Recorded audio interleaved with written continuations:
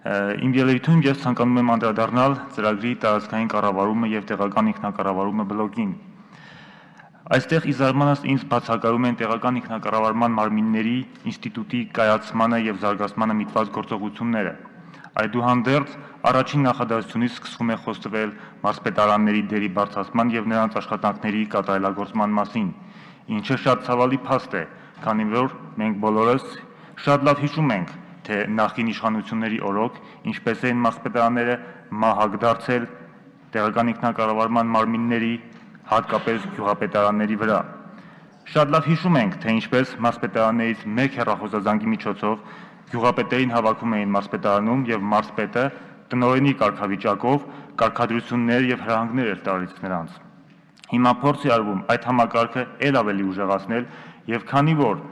չկա ոչ մի խոսք տեղական ինքնակառավարման մարմինների վերաբերյալ, ստացվում է, որ ստորադասվում է դիմ ինստիտուտը, այսինքն տեղական ժողովրդավարությունը կենտրոնացված իշխանության նկատմամբ։ Սա ուղղակի սպառնալիք է տեղական ինքնակառավարման մարմինների ինքնուրույնության կայացման եւ զարգացման համար։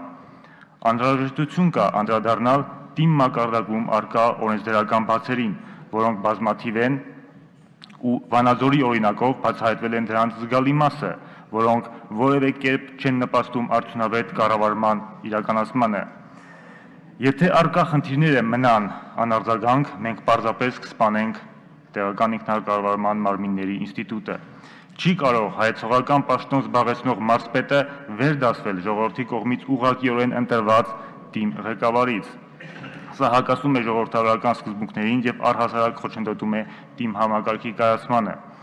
Մենք ունենք տարածքային կառավարման նախարարություն, որը օր առաջ պետք է վերագնահատի մարզպետարանների դերը ու նշանակությունը եւ հանդես գա այդ ինստիտուտի արմատական վերանայման առաջարկով էապես փոքրացնելով դրանց կազմը, իսկ լիազորությունների շրջանակը սահմանափակելով ներկայացուցչական ու պետական քաղաքականություն իրականացման